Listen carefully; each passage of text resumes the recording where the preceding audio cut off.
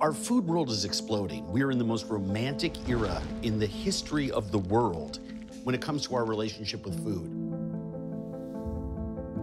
But food is about more than what you cook and how you eat it. Who's doing the cooking? Who gains access to opportunities? Who's working the farms? Where we come from, what we are, what we grew up with, what we can't live without, what we are not.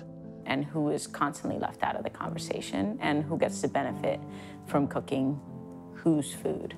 Some people might call it a cultural war. The cultures from which those cuisines that we have loved and fed ourselves with suddenly need to be looked at with a slightly different perspective.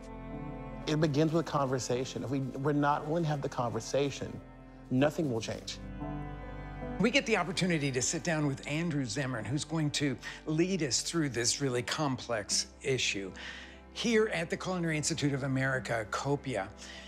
And I get to share the stage with some of the most thoughtful and I will say provocative minds about this subject. Why did you choose West Oakland? I'm like, I didn't choose West Oakland. It's the only place where I could get a lease.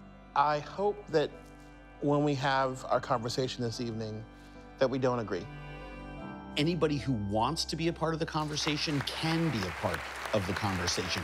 The entire thing is streaming on SOMM TV.